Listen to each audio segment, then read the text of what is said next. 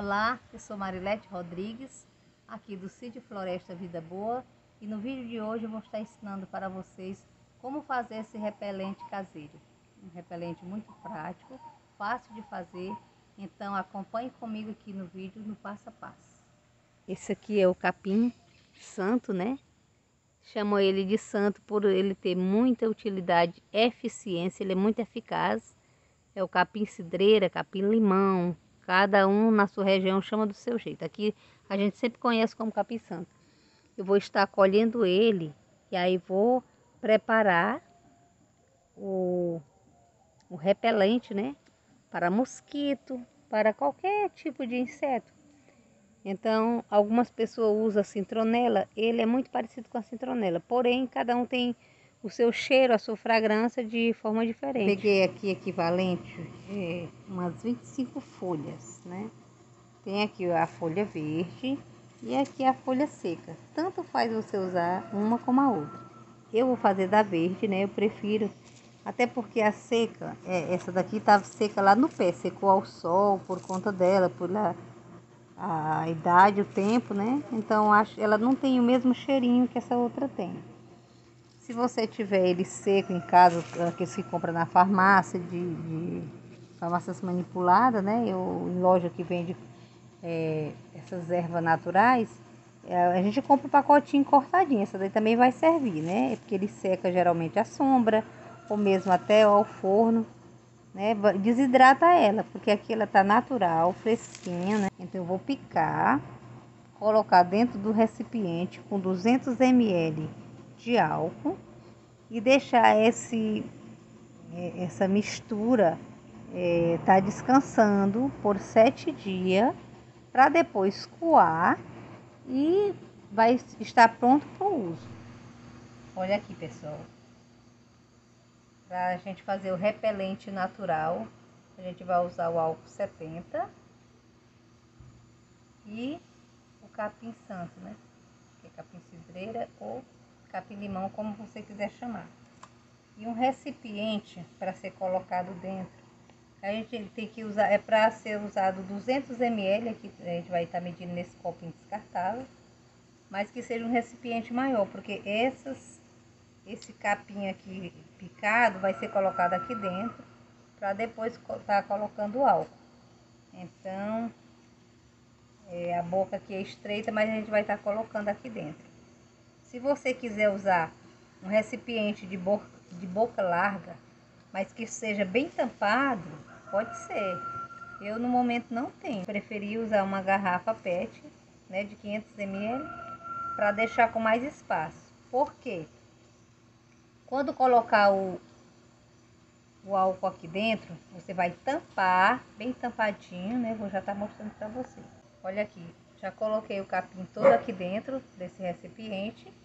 Agora vamos estar colocando o álcool. Eu aconselho vocês aí, ó, enche o copo bem cheio, porque eu acho que esse copinho é equivalente a 180 ml, mais ou menos por aqui, né? Então enche até a borda. Se você tiver um funil, não se segura para estar tá colocando diretamente, pode estar usando o funil.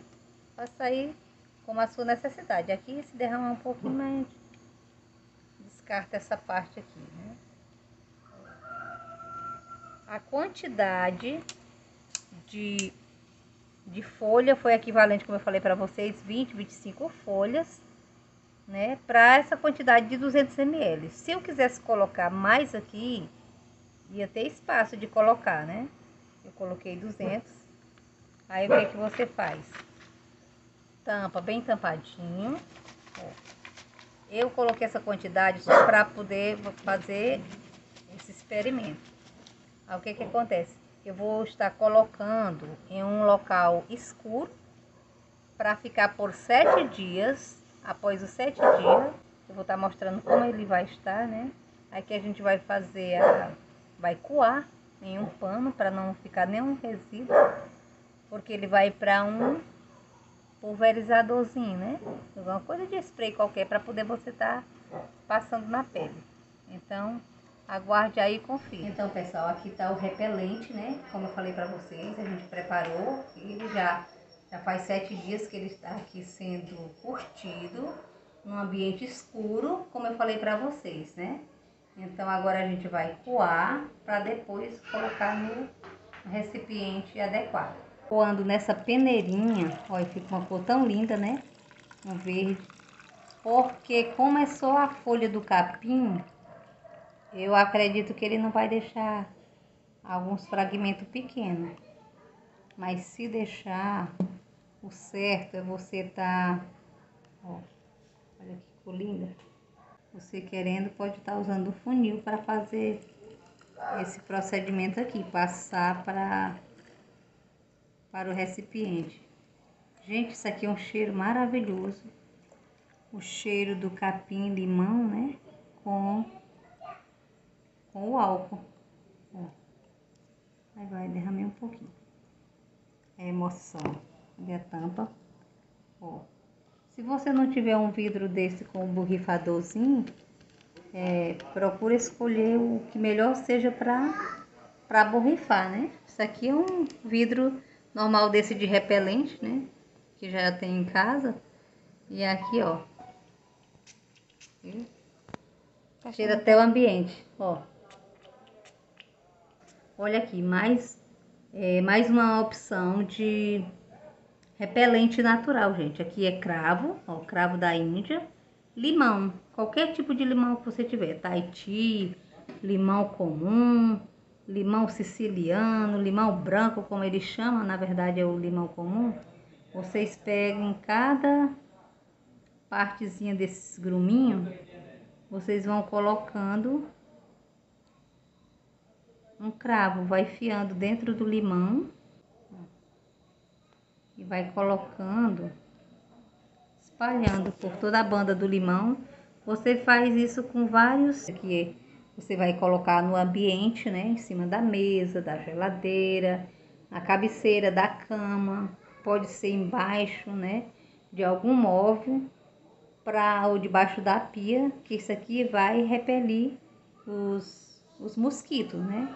Quando o limão começa a soltar o líquido dele, o suco, no, no cravo, vai estar tá inalando o cheiro que não é agradável para eles. Então é isso, pessoal. Esse é o nosso vídeo de hoje, né? Com essas informações para você. Espero muito que eu possa ter contribuído. E peço a cada um de vocês que esteja chegando aqui, que se inscreva, deixe o seu joinha, né? Compartilhe. E é isso aí. E muito obrigada e até o próximo vídeo.